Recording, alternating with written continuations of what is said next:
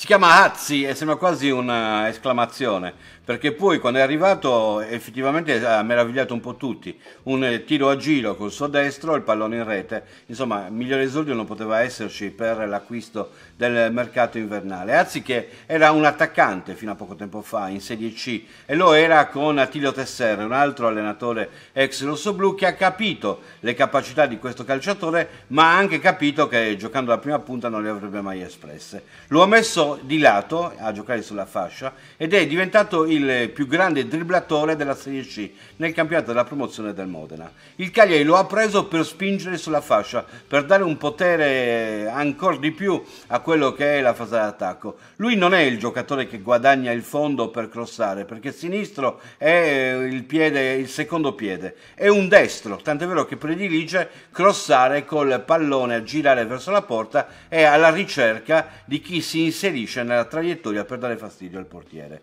Il rendimento comunque è stato altissimo nella fase offensiva, qualche carenza in fase difensiva come capita a un ex attaccante che il ruolo di difensore lo deve ancora apprendere al meglio, ma il contributo non si può certo dire che sia stato un contributo nullo. Per Azzi il voto è 8.